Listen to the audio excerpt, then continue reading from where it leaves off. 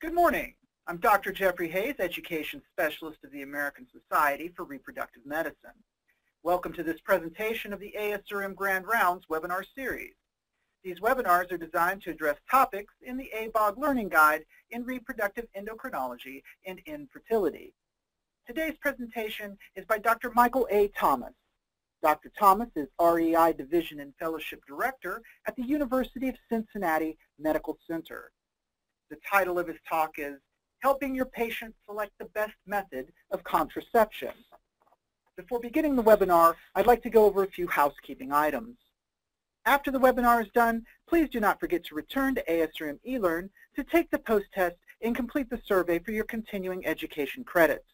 You must complete the post-test questions successfully and complete the survey to receive credit and be able to print off your certificate. If you wish to ask a question to the speaker about the presentation, when you return to ASRM eLearn, click on the page link labeled Questions, and an email address will be provided. The question period will only be open for a three-week period after this presentation is posted. After the time period for questions is expired, the questions page will be a frequently asked questions page pertaining to this presentation and topic. Our speaker today is Dr. Michael Thomas, we're very excited for his talk, so I will now turn things over to our speaker. Hello, my name is Mike Thomas. I'm at the University of Cincinnati, and uh, uh, my topic today is helping your patient select the best method of contraception. Uh, my disclosures are as follows, uh, and um, I will get into my discussion. Probably the primary thing that you want to know that uh, about contraceptives in general is that as you go through the life cycle, uh, most uh, women and couples will sort of change their methods of contraception, with birth control pills being probably the predominantly used method, and then that slowly and steadily decreases uh, the, uh, as far as the use of birth control pills are concerned, uh, and then uh, sterilization starts to become an increasing part of the armamentarium uh, used as far as contraceptives are concerned as women start to get into their uh, late 30s and 40s. When we look at methods of birth control, we have to discuss natural family planning. Uh, I was sort of chastised once and given a talk to our medical students at the University of Cincinnati uh, because we I didn't talk about natural family planning as much as I should have. And, and obviously that is a method of birth control, uh, or at least a method that some couples use as birth control. Even withdrawal is considered a method of birth control. If you look into look at contraceptive technology, uh, the sort of Bible on contraception, uh, birth control, withdrawal is also mentioned as well. Uh, but also there are reversible and non-reversible methods as well as hormonal and non-hormonal methods of uh, contraception. We hope to cover as many of these as possible within the time frame that we have today. Natural family planning, also known as uh, periodic abstinence, also known as uh, uh, fertility awareness methods, generally have a typical failure rate of about 25 percent. Uh, and there are different types. There's the calendar method where obviously the calendar is used, meaning that you start on uh, day one and then you sort of looked uh, during the calendar to see when uh, a person could be the most fertile, uh, which would generally be in a 28-day cycle person, uh, sometime between cycle day 10 to 14. And this is particularly important for someone like myself who spends about 50% of his time helping people get pregnant and the other 50% of the time trying to figure out ways for uh, people not to get pregnant. You know, we use the calendar method in our discussions with our fertility patients all the time, but you can also use those same discussions in patients who are not trying to get pregnant. Ovulation detection methods, uh, like using an ovulation detection kit, uh, can be used in patients who use those methods uh, who are perfect users they have actually a 3% uh, uh, chance of getting pregnant or, or, or, failure rate of 3%. Uh, cervical mucus detection uh, for those patients who do it perfectly, uh, uh, they have a perfect rate of failure rate of only 2%. And thermo, symptothermal methods, which when they use two or more of the above methods, their perfect use uh, or failure rate is only uh, 2 to 3%. Now moving to uh, hormonal contraceptive methods. These methods are sort of divided up into two uh, types, which are the combination, which include the birth control pills, uh, the uh, transdermal patches, vaginal rings, and emergency contraceptive agents. And then there are the progestin-only methods, which are the uh, progestin-only pills, uh, the oral pills, the vaginal ring, uh, the quarterly injections, the intrauterine systems that contain progestins, and emergency contraceptive methods. Steroid hormones are in all of these pills, and I guess I always like to take some time uh, to just talk about that because I consider this a very important aspect of uh, uh, the contraceptive uh, education because you really have to truly understand what you're giving patients. Uh, one of my favorite questions to our medical students and our residents when they tell me the type of pill that they prescribe is, is to, or the name of the pill that they prescribe is to actually go into what's really in that pill. And uh, unfortunately, uh, probably 70% of the time they don't really know what's in the individual uh, method of, of uh, hormonal method that they prescribe with, be it a pill or a patch or a ring. Uh, but uh, a lot of these hormones that are given are sort of derived from the endogenous hormones, um, and uh, with these hormones primarily coming from the ovary, and some of them coming from peripheral conversion. And uh, the, the steroid structures are pretty straightforward. Either uh, they are progestins uh, that are 21 carbon compounds, uh, which are derived from natural progesterone, uh, or they are androgens, which are 19 carbon compounds, which most of these uh, progestins in the oral contraceptives are. They are actually derived from uh, an androgen base, and they only have uh, 19 carbons. And then there are the, uh, the estrogens that are used in the combination pill, and the estrogens are primarily uh, 18 carbon compounds. So uh, just knowing the difference between a 21, a 19, and an 18 really reassures me uh, that uh, uh, a resident or medical student or even a fellow has a pretty good indication of what they're prescribing. And a lot of these uh, hormones are on the backbone of this basic steroid structure, which is this uh, uh, primary ring structure. And as you could see on the 17th position, which is when you get this bulky side chain, that's really where the differences uh, in the, uh, the different uh, progestins in particular uh, take place. With the synthetic estrogens, there are only three that are used. Um, mestranol, uh, which generally has a methyl group, and when that methyl group is cleaved, that methyl group cleavage turns that mestranol, which is also known as methyl ethinyl estradiol, into ethinyl estradiol and estradiol estradiol being, being the primary estrogen in the majority of the uh, birth control pills uh, that we use and a lot of the other uh, devices that we use, uh, estradiol is the primary backbone uh, of estrogen, uh, uh, synthetic estrogen that's used. And then there's also an estradiol cypionate that's used in some of the injectable estrogens um, mestranol, as we said, is cleaved, and once the cleavage takes place, uh, there's a, um, a loss of uh, potency of about 30%. Uh, therefore, a mestranol pill that has 50 micrograms uh, in it is about the same equivalent as a 35 microgram uh, ethinyl estradiol pill. And uh, um,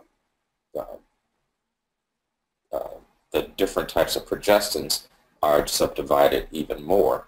Uh, the uh, progestins are either, as we said, 21 carbons, which are pregnanes, and then the pregnane category include the medroxyprogesterone acetate, the cyproterone acetate, uh, the chlormadinone acetate, uh, which isn't used much uh, uh, in a number of the, the pills or devices that we use in the United States. And then, of course, the larger category are the 19 nortestosterone agents, which are subdivided into estranes and to gonanes. Uh, the estranes being sort of the first generation, uh, which include uh, norethindrone, norethindrone acetate, ethynodiol diacetate, and then uh, uh, they are the gonanes. Uh, and the native gonanes, which are the second generation, norgestrel and levonorgestrel, are uh, probably a little bit more androgenic. They seem to have more potency or more affinity to the androgen receptor. And then the third generation progestins are the norgestrel, uh, uh, norgestimate, uh, the desogestrel, and the gestodene. The gestodene isn't used in the United States, uh, but uh, the norgestimate and the desogestrel, or these third generation uh, progestins, came out in the 90s, and they were derived from the native gonanes, and they have less affinity to the androgen receptor than the uh, uh, and levonorgestrel, which appear to have more affinity to the uh, androgen receptor. And then the fourth generation progestin uh, that's available now are the 17 alpha uh, uh, Uh, uh, derivatives, uh, which of course means there are only 17 carbons, uh, and they the drospirenone, which is the only progestin in this category at this time, has no androgen affinity. so drospirenone is the only progestin currently on the market that has no affinity or into the androgen receptor whatsoever. Uh, and generally, uh, uh, until the 17 carbon compounds came became available, we used to also talk about androgen, the sort of properties of the progestin. Those five properties of the progestins included their ability to um, bind to the progesterone receptor, which made it a progestin, uh, its ability to bind to the androgen receptor, and you see some slight binding even in the pregnanes, but the 17 carbons do not. Uh, they also could bind to the estrogen receptor, and then there's also an anti-estrogenic effect as well as a, uh, a glucocorticoid receptor binding effect. And those were the five primary binding affinities uh, to uh, uh, the steroid uh, receptors. You can see that uh, drospirenone uh, has the same sort of look and structure uh, as uh, uh, spironolactone. And the equivalent dose uh, of the 3 milligrams of drospirenone, which is in it, the 20 microgram and the 30 microgram pill that's available, is the 3 milligrams of drospirenone is equivalent to 25 milligrams of spironolactone. The estranes, the norethindrone, um, uh, norethindrone acetate, and ethynodiol diacetate are associated with a number of the pills uh, that are marketed today, but then there's also the generics, because a number of them are also uh, written in uh, a generic form. Uh, and, uh, uh, and those are available. and the important piece of this puzzle is that the norethindrone, norethindrone acetate, ethynodiol diacetate, norethynodrel, and the lynestrenol that are the uh, estranes are all converted to the active form of uh. As far as the gonanes, uh, all the gonanes, uh, whether they are the uh, norgestrel, levonorgestrel, uh, uh, the desogestrel, or norgestimate that are used in the U.S. branded products, which you see here, um, when we look at what they are sort of the active form uh, the levonorgestrel's active form is uh, uh, levonorgestrel. Uh, desgestadine, uh, again, not used in the United States, uh, but used in a number of European countries. Uh, you can see that its active form is gestodene. Desogestrel is the 3-keto desogestrel. And then the norgestimate is actively converted to levonorgestrel. there are the pregnanes uh, still used in contraceptives. So the 21 carbon compounds, uh, medroxyprogesterone acetate is in the uh, Depo-Provera uh, and um, uh, the cyproterone acetate not used in the United States uh, is in a product called Diane that's used in Canada and Europe. Drospirenone, as I said, is a little different because it has no androgenic affinity whatsoever. Uh, it's an aldosterone antagonist and a potassium-sparing diuretic. Uh, spironolactone is, uh, and it's a, so drospirenone is an analog of that. Uh, the typical daily doses of spironolactone uh, that are used in uh, common practice, we use it anywhere from 50 to, to 100 milligrams in our patients who may have polycystic ovary syndrome, but may and that could because it is a uh, uh, it can, it's an anti-androgen. Um, um, it will bind to the androgen receptor without uh, stimulating it. Uh, uh, therefore, uh, it, it has some definite benefit in use, and you can see it has also been used for patients with edema hirsutism and for patients who have had issues with hypertension. Uh, the drospirenone ethinyl estradiol product that's available contains 3 uh, milligrams of drospirenone. As we said, that's equivalent to the 25 milligrams of uh, spironolactone.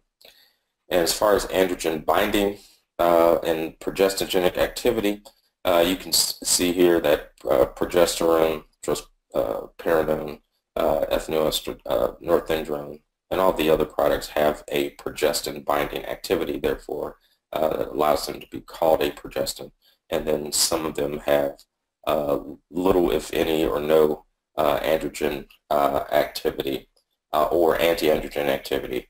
And, and, and some besides um, uh, the drospirenone have some degree of anti-mineralocorticoid activity, which includes the progesterone, native progesterone, drospirenone, and you see some in the gestodene progestin androgenic effects of uh, progestins in current birth control pill. Uh, overall, it's it's thought that uh, if, if, you look at uh, the, the all the birth control pills that are available, uh, patients don't have a defined androgenic effect, meaning that if you give a birth control pill, uh, women are, in general aren't going to have an increase in midline hair growth or acne. Actually, you see a decrease in that because with the combination birth control pills that are available, they tend to increase um, sex hormone binding globulin uh, uh, because of the estrogenic component and because you are decreasing uh, LH uh, uh, stimulation in the pituitary, uh, you get a decrease in androgen production from the theca cells. Um, just desogestrel and norgestimate have less androgenicity uh, uh, than uh, estranes and uh, levonorgestrel. Uh, drospirenone, of course, as we said, has an anti-androgenic effect, and it binds to the androgen receptor without stimulation, uh, uh, but it does not prevent androgen binding with sex hormone binding globulin, does not counteract estrogen-related sex hormone binding globulin synthesis, and it inhibits production of, variant androgens because of the decrease in LH stimulation. All combination pills are useful in treating mild to moderate acne, uh, but there are only three with an indication uh, for acne.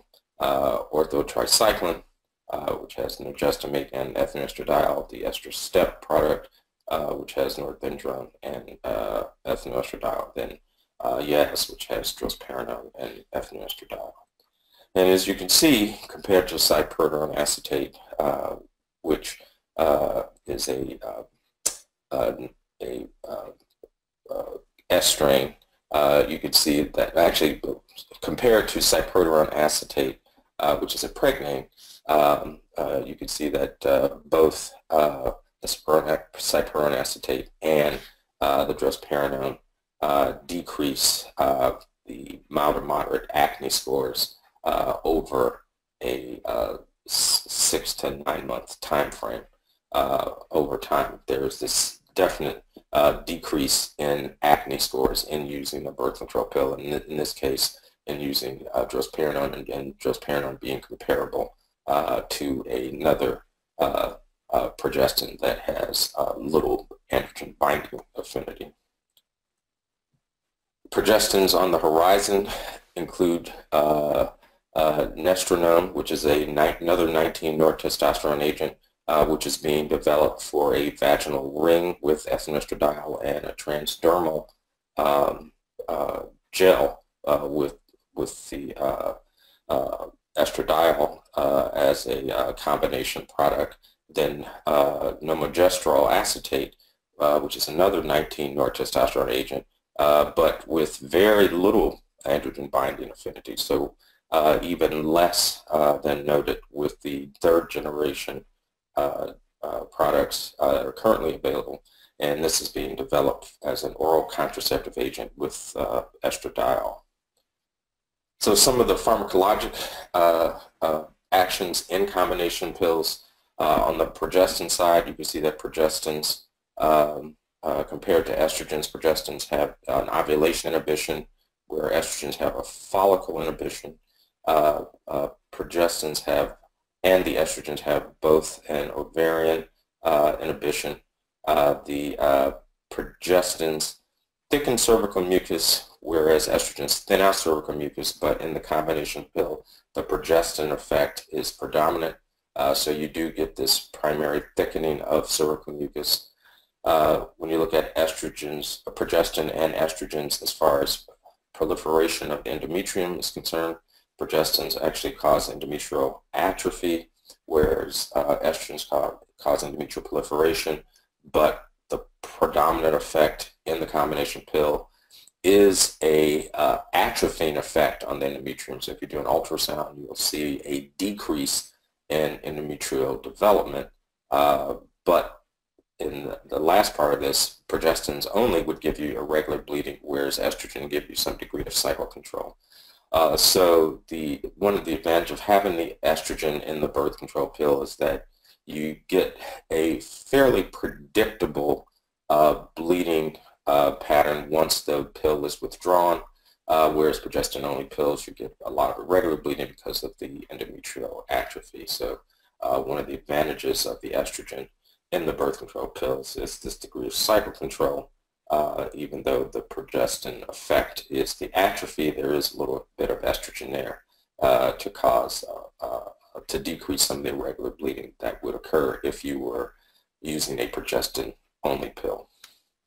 Some of the side effects are also estrogen and progestin related, and the estrogen related side effects include headaches, nausea, fluid retention, uh, mastalgia, breast pain, uh, hypertension in some cases, and and uh, uh, leukorrhea, whereas the progestin-related side effects include mood changes, uh, depression, uh, decrease in libido, uh, increase in appetite, which is uh, fairly rare in the low dose of uh, progestins that are used in the birth control pill. And there is some occasional cyclic mastalgia as well as uh, fatigue noted when using the progestin component oral contraceptives in general, there are a lot of users. About 30% of uh, all contraceptive users use a birth control pill, which encompasses about 18 million uh, people. Uh, approximately 80% of all women use oral contraceptives at some point uh, during their reproductive life. Uh, but there is a high discontinuation rate. A lot of this is due to side effects uh, that patients will experience, particularly sometimes uh, breakthrough bleeding issues is a high uh, uh, reason that uh, patients discontinue the use of the pill. Uh, and among women who continue oral contraceptives, the average duration of use is about five years before they either move on to something else or uh, decide that they may want to get pregnant. it's still the most commonly used reversible method of, uh, uh, of um, uh, contraception in the United States, and it has a high efficacy rate, 99.7% perfect use rate, and a 92% um, typical use rate. So people use it every day. the chances of getting pregnant are less than 1%. Uh, the, and the chances of, uh, um, of, efficacy in typical users is uh, 92% uh, if they use it and they continue to use, especially if you use a 21, 28-day pack, uh, starting the next pack at the right time uh, is very important uh, because uh, even with a 21-7 pill or a uh, or any other type of formulation starting the next pack on time is important because you start to see that the, um, the ovaries, the pituitary starts to sort of wake up, if you will, uh, if you uh, prolong the use of either placebo or use no method between pill packs. Uh, safety, uh, there are very rare serious complications with the oral contraceptive and uh, actually very few um, uh, absolute contraindications and many non-contraceptive uh, health benefits noted with the use of the birth control pill, the oral contraceptives. The most common side effects include, for discontinuation, include irregular bleeding, nausea, weight gain, mood changes, headaches, breast tenderness, and these are some of the reasons that, of course, people discontinue uh, the use of the birth control pill. Uh, but there are benefits. There's less salpingitis because of the thickening of the cervical mucus, not allowing infected sperm to get inside. There's less anemia uh, because of the fact uh, that there's less uh, bleeding due to the atrophying effect of the lining of the uterus. There's less benign uh, breast disease. Also noted less symptoms of the PCOS, meaning a decrease in any, midline hair growth or acne and um, the birth control pills affects. Uh, the uh, menstrual cycles or the cycles are more regular and you decrease the incidence of uh, any type of hyperplasia uh, in these patients. Uh, uh, they are, there also a decrease in fewer functional cyst issues, less benign ovarian neoplasias, possibly fewer uterine fibroids that have been noted, as well as a decrease in rheumatoid uh, arthritis. And most of these uh, issues were noted in patients in studies that were done in patients with higher dose uh, birth control pills. Uh, OCs are also protective. Uh, OCs tend to be um, protective uh, against endometrial cancers, ovarian cancers, and colorectal cancers. And these risks are decreased for some time even after uh, the birth control pill is uh, discontinued. Uh, there's no increase in breast cancer in OC users or even former users in age uh, uh, 35 to 65.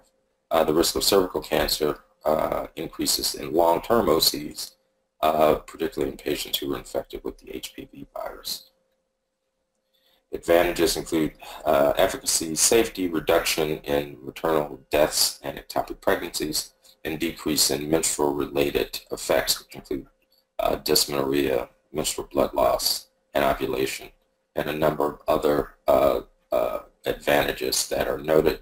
Uh, but OCs uh, sometimes controversially are noted to be associated with some medical conditions, but they're not. And I think there's sometimes a misperception about combination birth control pills. So there's no increase in the risk of melanoma, uh, glucose intolerance or diabetes, uh, gallbladder disease, cholestatic jaundice, or uh, um, yeah, they're not associated with uh, causing uh, any of these issues, or including hepatic neoplasias. Some of the disadvantages of OCs include daily administration, expense, um, lack of sexual transmitted disease protection, uh, sometimes uh, they can cause a decrease uh, uh, in some patients a decrease in libido because you are uh, decreasing endogenous testosterone and there are some thrombosis related issues. And I'd like to spend some time on that in that uh, one of the concerns sometimes is uh, patients who are um, at potential risk. But when you look overall at risk of venous thrombotic episodes, uh, young women in general uh, are uh, have a four to five uh, uh, time risk to be to begin with the number four to five incidents of VTs per 100,000 women years and, and um, pregnant women. when you compare them to young women, the relative risk is 12 in that there are uh, 48 to 60 uh, uh, episodes per 100,000 women years. When you play, when placed on an OC uh, that's in, uh, greater than 50 micrograms of ethinyl estradiol, that relative risk is still lower than that sort of found in the birth control pill. The relative risk is the relative risk of, of, of, a birth control pill used a, with a high dose ethinyl estradiol pill, which you can't even get these days. The relative risk is 6 to 10, uh, and, and OCs in the, with the current formulations, uh, the relative risk is much lower than even seen in a uh, pregnant woman, uh, with the relative risk being uh, 3 to 4. Uh, thrombosis is generally greater in the first year of use. VTE risk does not change with smoking, varicose veins, or hypertension and this risk generally disappears within 30 days of stopping OCs. Uh, in looking at different types of progestins in birth control pills that are less than uh, 50 micrograms, uh, there uh, seems to levonorgestrel uh, and norgestimate, uh, norgestrel, excuse me, uh, seem to have similar relative risk. Desogestrel in studies that have been done of late seems to confer a slight increase, even though we don't think of progestins in general, but uh, having and uh, causing an increase. But for whatever reason, the combination of uh, estradiol and desogestrel does seem to confer a slight uh, increase in risk uh, with the two of them alone, with the two of them together, I should say. Um, as far as other types of, uh, of uh, devices that are available. The IUDs have been on the market uh, for quite some time. Uh, the, uh, the Dalkon Shield uh, was introduced in 1970, then withdrawn from the market because there was thought to be a slight increase in infections. the issues with the Dalkon Shield have been documented very well over the years, and it's, it's thought now that, that, that there may have been some other issues that may have increased uh, the risk of infection uh, other than the Dalkon Shield itself. Uh, and uh, um, the, the, IUDs were then reintroduced uh, into the market around 1984 uh, with the Paragard being introduced at that time and then released for sale in 1988. And then the levonorgestrel IUD was started to be marketed uh, in Finland in 1990, then finally approved, uh, the levonorgestrel uh, de device approved uh, in uh, the United States in 2000. There was a one-year natural progesterone containing um, IUD that was removed from the market in 2001, and then the copper IUD and the levonorgestrel, current levonorgestrel IUD were the only ones available after that time frame. As far as the copper IUD is concerned, it's a, uh, a great device. Uh, it's, uh, good for up to 10 years. Uh, it decreases sperm ability to reach the ostia.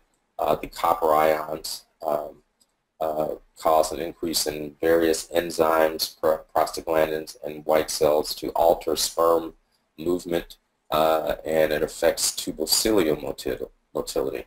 Uh, the IUD sort of sits in in its T form to cover a large surface area, uh, so it doesn't basically allow sperm to enter. It's almost like a, barrier method.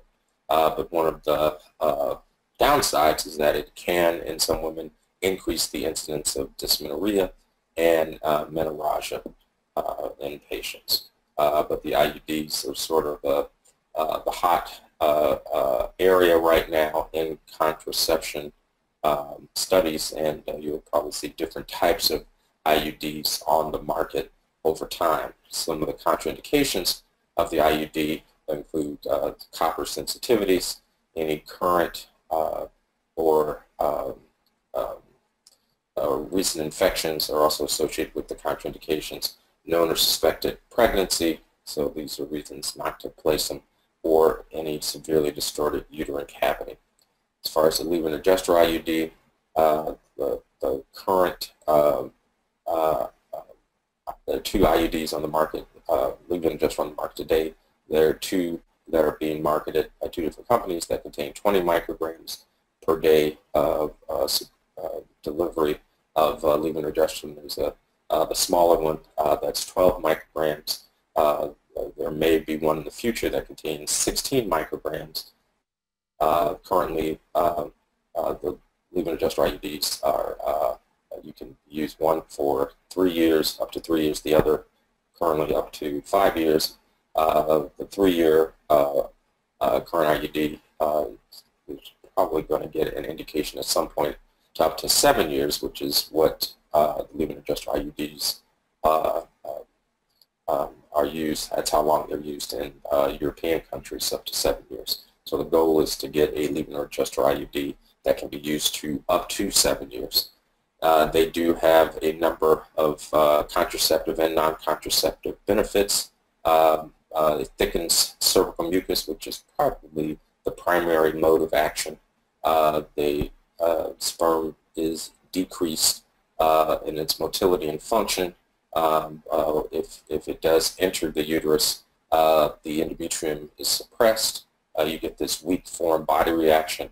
And uh, even though not a lot of the progestin gets into the bloodstream, in some women it's been noted that there has been some inhibition of ovulation, particularly in the first couple of years of use.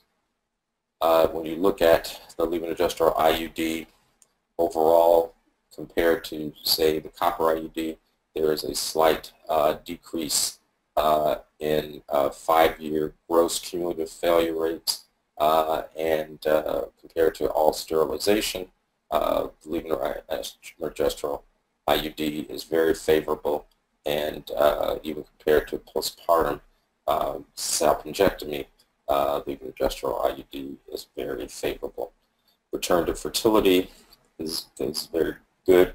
Uh, when you look at the two IUDs side by side, they are the same, meaning that once you remove it, the chances of getting pregnant seem to be the chances of anyone else getting pregnant within one year, which is about 80%.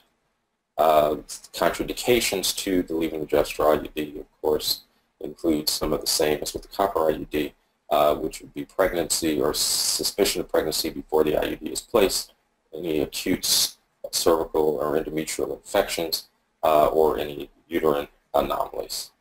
Uh, some of the side effects of the levonorgestrel IUD because of the potential for uh, some of the hormone to get into the bloodstream, uh, mood changes, acne, headaches, breast tenderness, uh, nausea, and I guess amenorrhea is another uh, side effect of this uh, device, uh, but no weight gain is reported and it doesn't seem to have an effect on weight if depending on the patient's weight.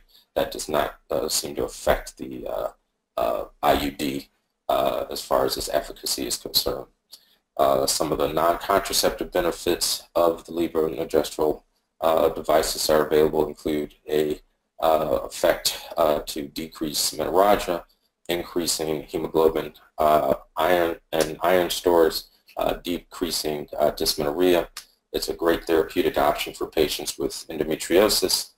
Uh, for those patients who need um, endometrial protection if they're using any type of hormone replacement therapy, any estrogen therapy, having the IUD uh, with uh, a progestin uh, allows that patient to take an estrogen without any adverse effect on the endometrial lining. And because some of the oral progestins can cause some mood changes, having a local progestin with very little of that hormone getting into the bloodstream uh, appears to reduce uh, some of the discontinuation rates associated with the uh, oral progestins in post and perimenopausal and postmenopausal women.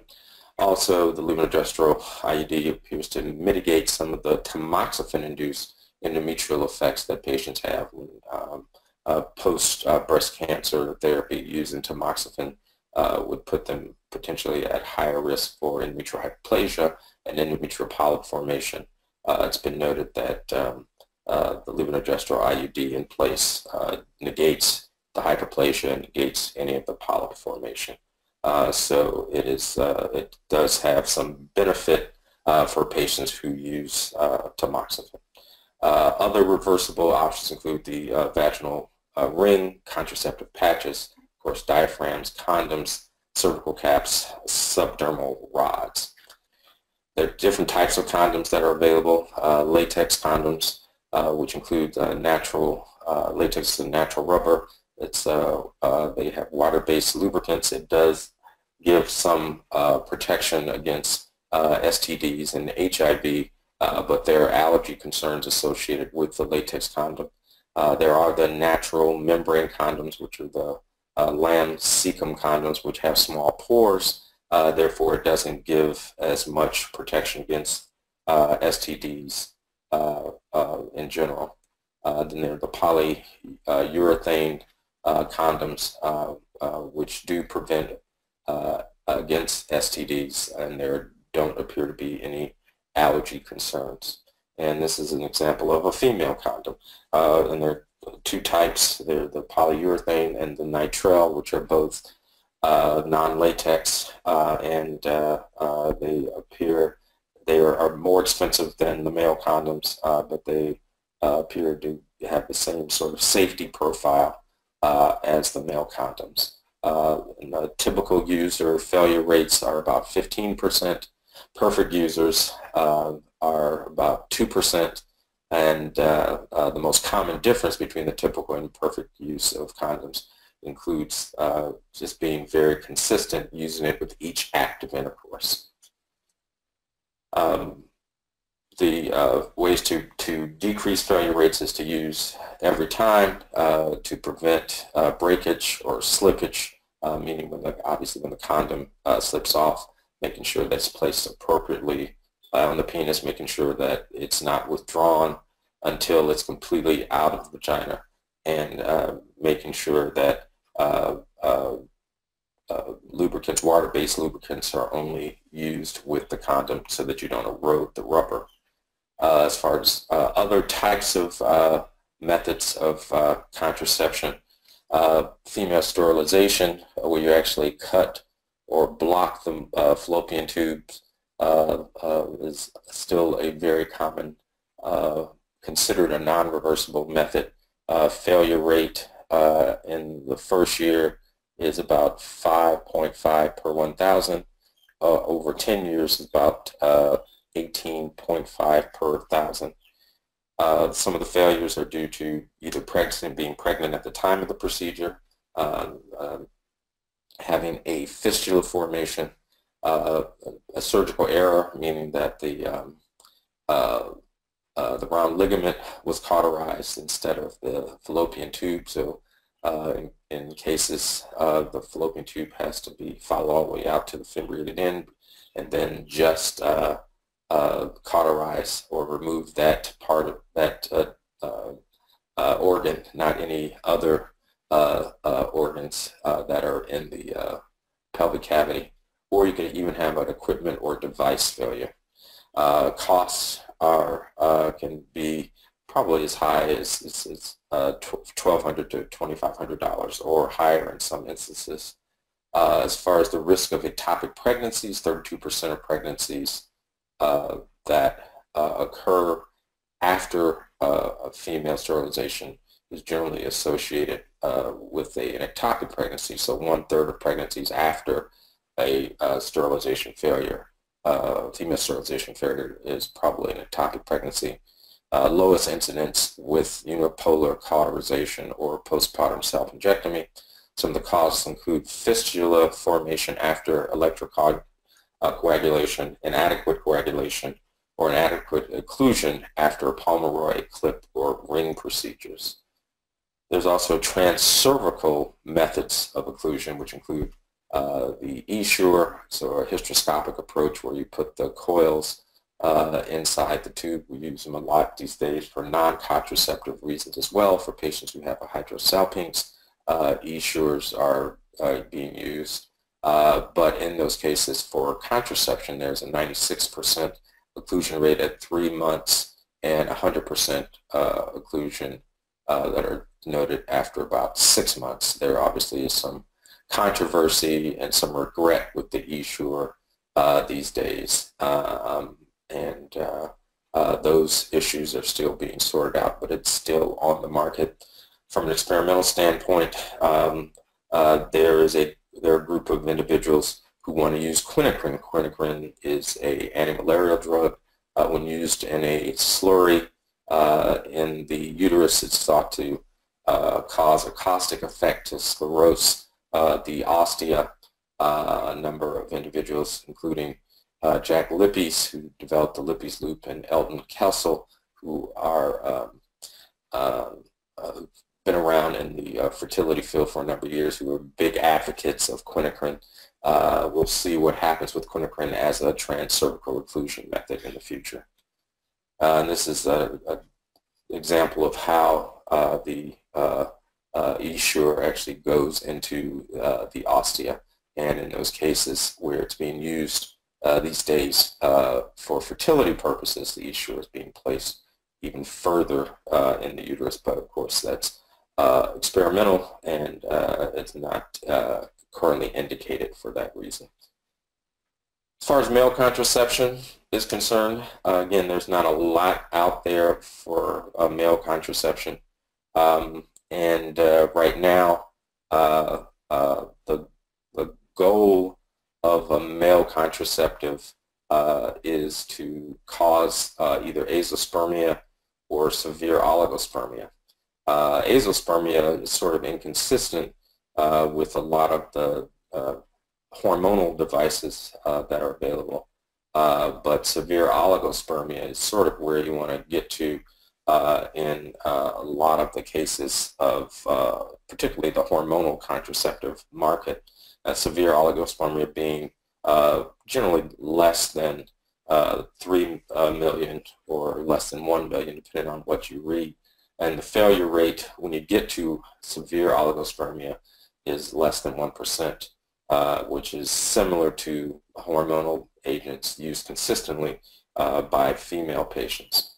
Uh, vasectomy being um, uh, the uh, current way of uh, at least getting to azoospermia in a non-hormonal fashion where you have to just block the vas deferens, the failure rates are usually pretty low uh, for the most part, uh, uh, less than 1% uh, if done properly. but if you, depending on the literature, you can get some literature that reads as high as 3 to 5%. And a lot of the studies with the higher failure rates are due to the fact that uh, they demonstrate sperm and they ejaculate uh, um, uh, at some point.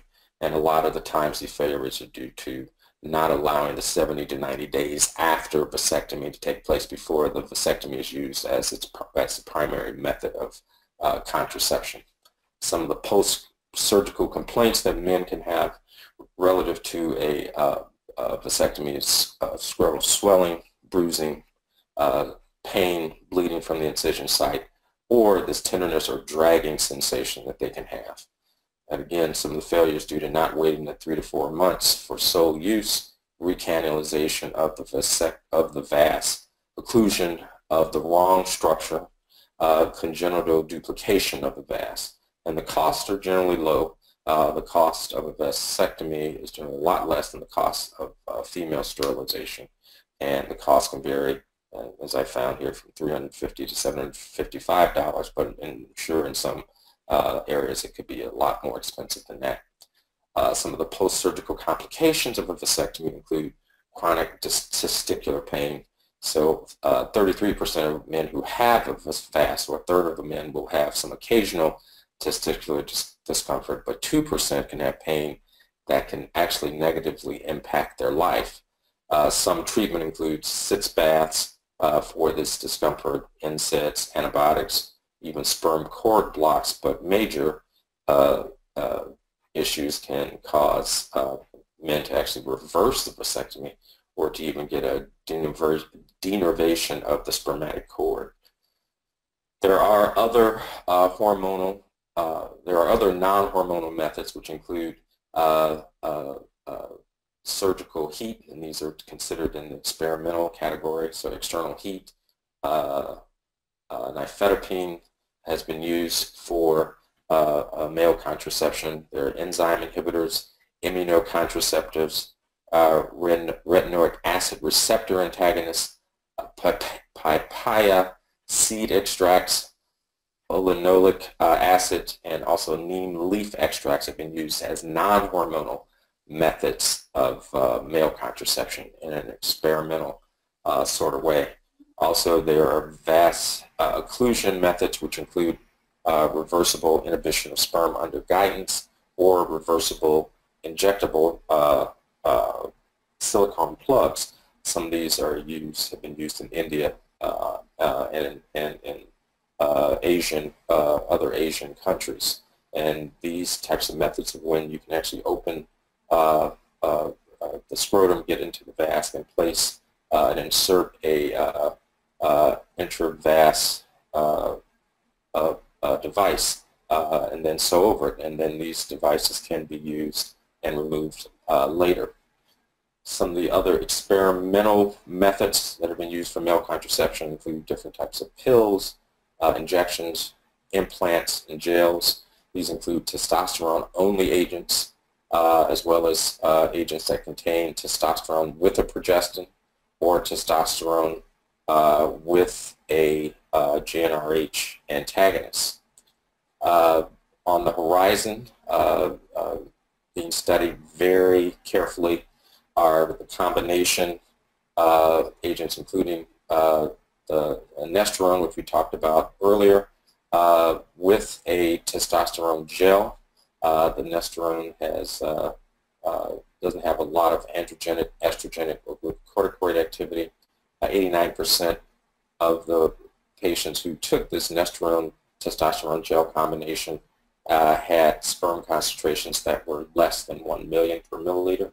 Uh, there's the DMAU, uh, which is a 19 norandrogen with activity at the androgen and progesterone uh, receptor uh, that's been used in experimental on an experimental basis. Uh, there's MENT, the 7, 7 alpha methyl 19 testosterone agent, which is more potent than testosterone. Uh, it's resistant to 5-alpha reductase, therefore it lacks uh, any type of progestogenic activity. It's formulated primarily as an implant. Uh, it uh, also supports bone health and it reduces intraprostatic uh, androgen activity, uh, and it, but it doesn't seem to be inconsistent when given uh, the release is inconsistent when given with a progestin. Uh, one of the issues that you sometimes have with some of these androgens is that they may cause some degree of benign prostatic hypertrophy. It doesn't appear to really cause a lot of testosterone cancer, but uh, BPH is noted as MENT. Uh, actually, uh, you don't see that because it, there is not a lot of intraprostatic uh, androgen activity. the biggest problem with male contraception is that there's not a lot of research being done. Uh, the only research being done now is through the male contraceptive development uh, program, uh, uh which is sort of akin to uh, the female contraceptive clinical trials network, which I and uh, my other 18 other centers, 19 centers altogether that are involved in. There are 10 male research centers uh, and they do a number of different things, both basic translation and, and, clinical trials. And this is really where a lot of these uh, male contraceptive uh, uh development and future male contraceptive de development devices are being done. So overall, when we look at what we are looking for in an ideal contraceptive agent, we want it to be safe, we want it to be effective, uh, we want it to be reversible or non-reversible, we want it to be acceptable uh, by both partners. Uh, we want it to be available, affordable, and ideally dual protective. Uh, so in the development and when we try to formulate a reason uh, and to try to pick a perfect contraceptive agent uh, uh, for our patients, it depends on how much of these boxes, how many of these boxes we can actually check uh, to try to pick the ideal contraceptive agents for our patients. And with that said, the World Health Organization and the CDC come up with the medical eligibility criteria for patients who have issues uh, and, in trying to pick uh, the different type of uh, contraceptive for a patient with any type of uh, current or former disease state. Uh, and these medical eligibility criteria are uh, looked at on a fairly routine basis. They're supposed to be looked at every three to four years and, and through a consensus process by an expert working group. the criteria may or may not be changed. Uh, you can find out information on the medical eligibility criteria through uh, either the World Health Organization website or uh, in the United States, the CDC.gov website. And they rate uh, um, a medical condition and then whether or not a contraceptive should be used uh, uh, based on four distinct categories. Uh, category one is that a contraceptive can be used. Uh, number one uh, category is the condition for which there is no restriction, uh, uh, or number two, a condition where the advantages outweigh the theoretical or proven risk, or a, contra specific contraceptive agent can be used in a condition where the theoretical proven risk outweigh the advantages or method use, or um, uh, in uh, the case of uh, a, time when a contraceptive method should not be used for a particular medical condition. And that's number four, a condition where there is an unacceptable health risk if the method is used. So if you have a patient, for example, say, who has a history of DVT, uh, what uh, MEC category uh, would be used for a combination oral contraceptive for a patient with a history of DVT or pulmonary embolism? And uh, the answer is category four.